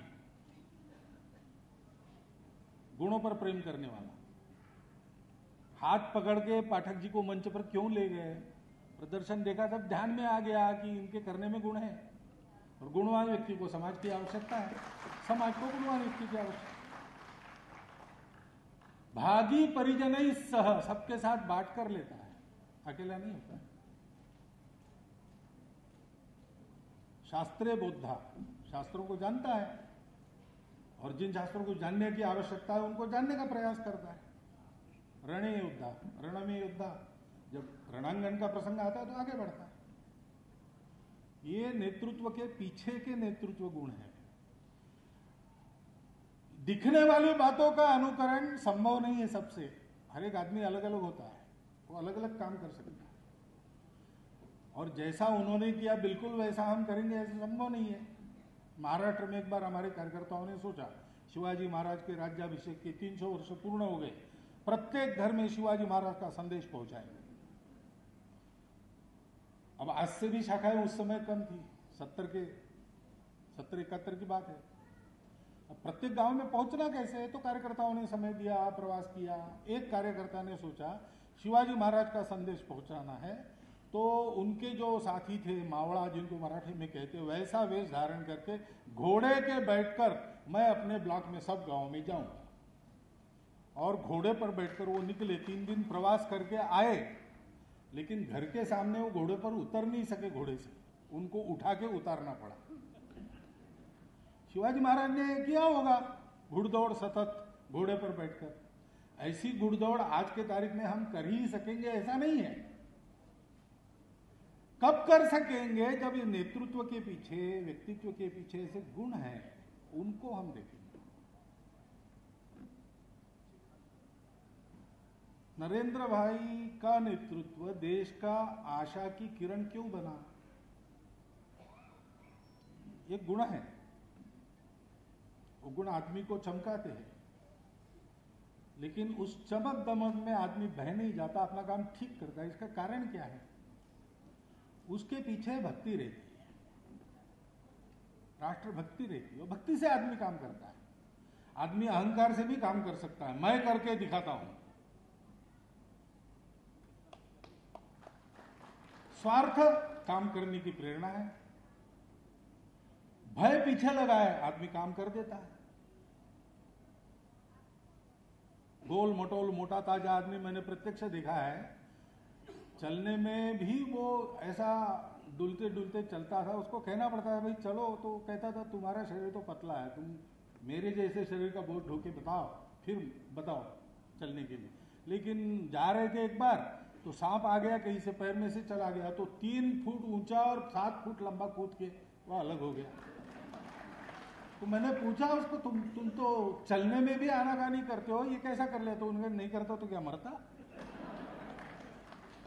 ये भय रहता है, भय के लिए भी आदमी काम करता है, मजबूरी में भी अच्छा काम करते हैं लोग। लेकिन जिसका काम जनगणों के लिए कल्याणकारी होता है, उसका काम इसलिए कल्याणकारी होता है कि उसके मन में भक्ति रहती है, यानी प्रेम रहता है, आत्मीयता रहती है, मेरा समाज है, मेरा देश है, उसके लिए मुझे करना है, मेरे अपने के लिए नहीं करना तेरा वैभव अमर रहे माँ हम दिन चार रहेगा और उस आत्मीयता में मोह नहीं रहता किसी के प्रति, उस आत्मीयता में तत्वनिष्ठा रहती। देश के भले के लिए जो उपयुक्त है, वो मेरे लिए उपयुक्त है। मेरी अपनी रुचि, अरुचि कुछ भी हो देश के कल्याण के लिए आवश्यक है, हम जोड़ेंगे। श्रद्धा रहती है, कुछ अच्छा होगा, निराशा नहीं रहती। निराशा की मनस्थिति आई थी समाज में। उस मनस्थिति से निकाल क्यों सके देश को? इसलिए कि जो सारे प्रयास करने वाले लोग थे, उनके मन में ये श्रद्धा थी ये देश मिटेगा नहीं, ये देश बढ़ेगा। इसका एक चिरंतन जीवन कार्य है। वो जीवन कार्य समय समय पर संपन्न करने के लिए इसको बलवान बनना ही पड़ेगा। इसको मरने की अनुमति नहीं है नियति की। इस श्रद्धा को लेकर साथ चले हैं। विश्वास होता है, स्वयं पर आत्मविश्वास होता है। अपने कार्यकर्ताओं पर विश्वास होता है, अपने कार्य पद्धति पर विश्वास होता है, अपने लक्ष्य पर विश्वास होता है। और साथ में समर्पण होता है। कायेन वाचा मनसेंद्रिय व बुद्ध्यात्मनावाद प्रकृति स्वभावात। काया वाचा मन से बुद्धि से, आत्मा से, प्रकृति स्वभाव जिसके ऊपर कोई उठ नहीं सकता, उसके ऊपर भी उठ के कार्य सिद्धि के लिए प्रयास करने का दम उस समर्पण के कारण आता है।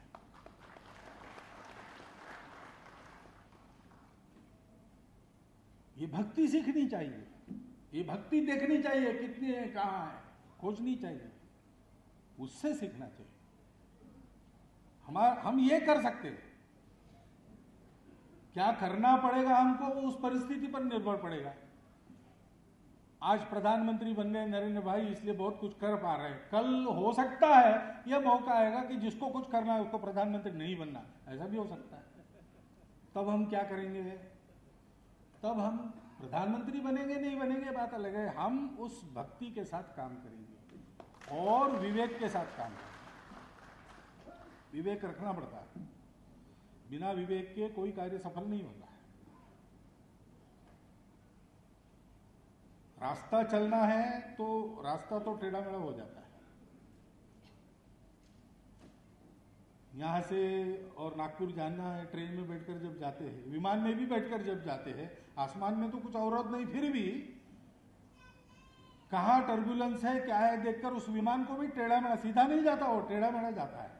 लेकिन टेढ़ा मेढ़ा जाकर भी नागपुर पहुँचता है, क्योंकि एक बार टेढ़ा हो गया तो दूसरी बार टेढ़ा करके लाइन पर लाने का, वैमानिक का वाहन है, कौशल्य जीवन ऐसा ही है, जीवन में काम करने के लिए सीधा नहीं जा सकता। लेकिन लक्ष्य क्या है? वो नित्य है वहीं जाना है। अभी तात्कालिक परिस्थिति में इधर जाना पड़ा कल वहीं जाना है। पहुँचना वही है। ये नित्य है उसका विवेक नित्य अनित्य विवेक। सारा सार विवेक। कई बार माध्यमों में डिबेट में आप देखते हैं कि जो शीर्षक मुख्य मुद्दा रहता है डिबेट का वो वो छूट जाता है। दूसरी बातों पर चलता है। खूब चिल्ला चिल्ला के बोलते हैं, अरे भाई डिबेट का मुद्दा क्या है? नहीं, वो तो छूट गया। सार रखना, असार को छोड़ देना। रामकृष्ण परमहंस के पास एक गए, साधु। उन्होंने कहा, बारह साल हिमालय में एक पैर पर खड़े होकर तपस्या की और ऐसे बन गए, वैसे बन गए। क्या कर सकते? पानी पर चल सकते, गंगा पर चल के दिखाया उन्होंने। रामकृष्ण हंसने लगे। पूछा उसने कि क्या बात है भाई, हंस क्यों रहे हो? तो बोले, भाई हम रोज दो पैसा देकर गंगा के पार जाते हैं और वापस आते हैं। उसके लिए बारह साल तुमने गवाए हिमालय में, ज़िंदगी। तपश्चर्या सत्य को पाने के लिए होती हो, तुम सिद्धि पाके बैठ गए। ये सारा सार विवेक पाइए। और मन, वचन, कर्म का विवेक चाहिए। विवेकहीन कर्म, विवेकहीन सोच, विवेकहीन वाणी अनर्थ करती है। अनर्थ करने का उद्देश्य न होकर भी वो हो जाता है। ये सारी बातें उस व्यक्तित्व कर्तृत्व नेतृत्व के पीछे कहाँ कहाँ है कैसी कैसी है उसको अगर हम पढ़ेंगे उस पुस्तक में तो नरेंद्र भाई कर रहे बहुत अच्छी बात है। अपने समाज की एक बुरी आदत है उनको एक ठेकेदार की आवश्यकता लग, लगती है हमेशा। और अभी उनको एक ठेकेदार अच्छा समर्थ ठेकेदार मिल गया है समाज के कल्याण का। खतरा यह है कि ठेकेदार के सर सब मर देंगे हम लोग और हम लोग सो जाएँगे। ऐसा नहीं होना चाहिए। चरित्र लेखन का ये उद्देश्य नहीं रहता। चरित्र लेखन का ये उद्देश्य रहता है कि मराठी में हम ऐसा कहते थे बचपन में, प्राइमरी स्कूल में ये पढ़ाते थे, थोर महात्मे होऊनी गेले, थोर महात्मा हो गए, चरित्र त्यांचे पहा जरा। उनके जैसा चरित्र देखो, उनका चरित्र पढ़ो। आपण त्यांच्या समान व्हावे, हम भी उनके समान बने हाथ सापड़े बोध करा, यही अच्छा बोध मिलता है। लेकिन उनके जैसा यानी नरेंद्र भाई की दाढ़ी है, मेरी भी दाढ़ी होगी। वो जैसे कपड़े पहनते, वैसे कपड़े पहनूँगा, वो जैसा बोलते, वैसा, ये ये नहीं है। ये दिखने वाली बातें हैं। दिखने वाली बातों के पीछे जो होने वाली बातें हैं, जिसके कारण दिखने वाली बातों से इतने बड़े काम हो गए। उन होने वाली बातों को इस चरित्र में पढ़ना और उन होने वाली बातों का अनुकरण करके चलना। इसकी आवश्यकता है, इस दृष्टि से हम ये चरित्र पढ़े। ऐसा आप सबके सामने अनुरोध रखता हूँ और मेरे चार शब्द समाप्त बहुत बहुत धन्यवाद। आभार। आपके आशीर्वचनों के लिए, आपके मार्गदर्शन के लिए निश्चित रूप से धैर्य और धन्यवाद आपका। और अब आज के कार्यक्रम के अध्यक्ष माननीय बलदेव भाई शर्मा जी हमारे बीच यहाँ उपस्थित हैं। मैं उनसे अनुरोध करूँगी कि वो आए और अध्यक्षीय भाषण दें, माननीय बलदेव भाई शर्मा जी।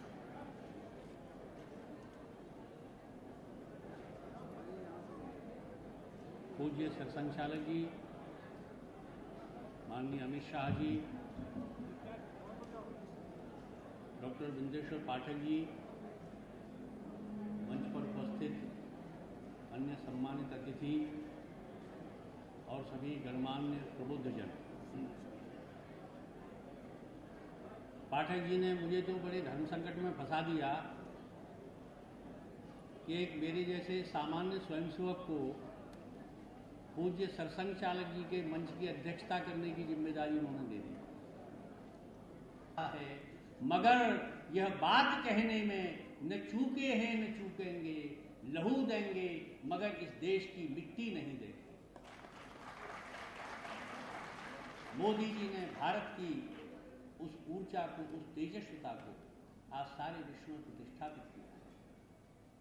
महर्षि व्यास ने एक बड़ी सुंदर पंक्ति कही है वृत्तम यत्नेन संरक्षित। वित्तम यात अयात च। कि धन तो आना जाना है, आज कमा लिया, कल चला जाएगा। लेकिन जो इतिहास है, उसको प्रयत्न पूर्वक संरक्षित करके, उसी से हमारी भावी पीढ़ियाँ प्रेरणा ग्रहण करेंगी। और इतिहास मित्रों केवल आंकड़े नहीं होते हैं। इतिहास जिन लोगों ने राष्ट्र के, समाज के, मानवता के निर्माण में नई चेतना के साथ जीवन समर्पित कर दिया, उनका स्मरण, उन परिस्थितियों का स्मरण कि जिन परिस्थितियों पर विजय प्राप्त करके उन्होंने अपने कृतित्व को स्थापित किया, ये इतिहास है।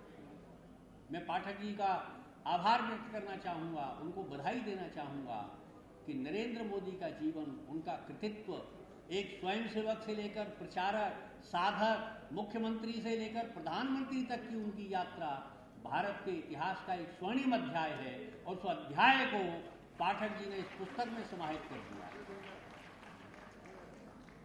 किसी का जीवन चरित्र लिखना यह व्यक्ति पूजा नहीं है। व्यास जी ने जिस इतिहास की बात की और समाज की प्रेरणा के लिए की, उस व्यक्ति के जो गुण हैं, अभी पूज्य सरसंघ चालक जी ने जिस प्रकार विवेचन किया उन गुणों के आधार पर समाज का निर्माण हो। और मैं इसमें एक वाक्य और जोड़ना चाहूँगा कि नरेंद्र मोदी ने प्रधानमंत्री रहते हुए जिस प्रकार भारत के जीवन को एक नई दिशा दी है, भारत के सवा सौ करोड़ लोग इस पुस्तक को पढ़कर नरेंद्र मोदी बन जाएँ तो इस पुस्तक का लिखना सार्थक हो जाएगा। और इसलिए हमारे ऋषियों ने कहा, ज्ञान अस्माकम सुचरितानी तान त्वया सेवितम। केवल हमारी स्तुति मत करो कि हमारे पुरखे, पूर्वज ऐसे थे, महान थे, बल्कि जो हमारे जीवन के श्रेष्ठ आचरण हैं, उनका तुम पालन करो, तभी तुम श्रेष्ठ बनोगे। इस पुस्तक को पढ़कर, उन गुणों को ग्रहण कर कर हम अपने जीवन में बदलाव ला सके और राष्ट्र के निर्माण में योगदान दे सके तो मुझे लगता है कि पुस्तक का लेखन सार्थक होगा स्वच्छता अभियान ये महात्मा गांधी का सपना था। नरेंद्र मोदी जी ने उस सपने को जन जन का संकल्प बना दिया और महात्मा गांधी और नरेंद्र मोदी जी के बीच में स्वच्छता की पताका लेकर खड़े हुए हैं हमारे पाठक जी। और स्वच्छता मित्रों, केवल साफ़ सफ़ाई नहीं होती, कूड़ा हटा दिया, कपड़े साफ़ पहन लिए। स्वच्छता मन का संस्कार मन का संस्कार जब तक स्वच्छ नहीं होगा बदलेगा नहीं, शुचिता नहीं आएगी विचारों में, तब तक जीवन नहीं बदलेगा। मैं एक जानकारी आपके साथ शेयर करना चाहूँगा। आप सबको प्रसन्नता होगी कि माननीय प्रधानमंत्री जी के स्वच्छता मिशन को ध्यान में रखकर, इस देश के बालकों के मन में भी स्वच्छता का जागरण हो। राष्ट्रीय पुस्तक व्यास ने जापान की एक बड़ी प्रकाशन संस्था के साथ करार करके, उन्होंने जो एक सीरीज़ छापी है बच्चों के लिए पुस्तकों की माउंटाइन जापानी में स्वच्छता को कहते हैं, हमने उन पाँच पुस्तकों को अपने बच्चों के लिए, नई पीढ़ी के लिए, जिसमें मन की स्वच्छता, स्वास्थ्य की स्वच्छता, वातावरण की स्वच्छता, ऐसी पाँच पुस्तकें, राष्ट्रीय पुस्तक न्यास माउंटाइन का अनुवाद करके प्रकाशित कर रहा है, ताकि भारतवर्ष के बच्चे बच्चे तक स्वच्छता का संदेश संजय तिवारी, जगत बहादुर, सुरेंद्र सिंह, आरती अरोड़ा, तरुण शर्मा, अनीता अग्रवाल और शशि भट्ट आपको भी हम सम्मानित करेंगे। कार्यक्रम के दूसरे भाग में आप सबको भी हम यहाँ आमंत्रित करेंगे और आप सबको भी सम्मानित करेंगे। फ़िलहाल कर्नल सेवानिवृत्त जसवंत सिंह जी और श्री सुशील गोयल जी कृपया मंच पर पधारें। हम निवेदन करेंगे उषा चौमर जी, एस चटर्जी और डॉक्टर पाठक से कि वो सम्मानित करें। कर्नल सेवानिवृत्त जसवंत सिंह जी को पुस्तक में उनके अमूल्य योगदान के लिए।